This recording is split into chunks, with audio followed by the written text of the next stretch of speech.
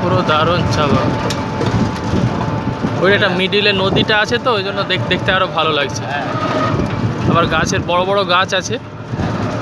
বড় বড় বড় গাছ হ্যাঁ। গাছে হ্যাঁ?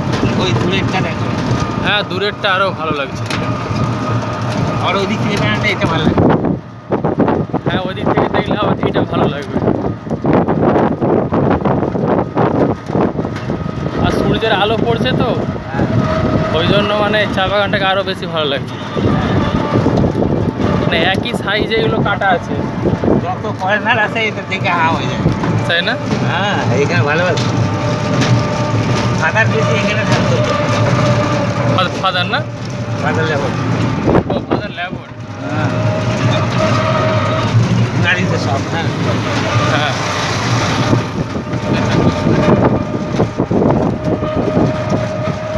এখানে থাকতো বাথরুমে হ্যাঁ ভালো বাঁকুবাড়ির ওইখানটা তো প্রচুর ইয়ে আছে। ওটা তো পুরো চা বাগানের সাইডেই আছে একদম। ওটাও নদী এই যে পটোয়া নদীটা। বাংলাদেশে ডুবে যাবে। তাই না? জল সব বাংলাদেশে। সব বাংলাদেশে চলে যাচ্ছে? তিস্তা নদীটা ওইখানে আছে। হ্যাঁ। এর সঙ্গে মিলে যাচ্ছে বাংলাদেশে। বুঝতে পারছি। ও তিস্তার একটা মেন শাখা আছে ওখানে ঢুকে যাচ্ছে। হ্যাঁ তিস্তার আসল শাখা ওইটা দিয়ে যাচ্ছে বড় নদীটা। হ্যাঁ বুঝতে পারছি। ছোটগুলো পুরো এক সাইজে কাটা আছে। জল। হ্যাঁ পাহাড়েরই জল আসছে ওই দিক থেকে আর এখানকার নদী জোয়ার ভাটা দেখবেন না। এখানকার চলে যাচ্ছে এরকম। জল চলে যাচ্ছে। হ্যাঁ হ্যাঁ। সব গিয়ে আমাদের ওখানে বড় নদী হচ্ছে গঙ্গা। ব্রহ্মপুত্র ব্রহ্মপুত্র তো আসামের উপর দিয়ে গেছে। হ্যাঁ। উফ আবার বিশাল চা বাগান।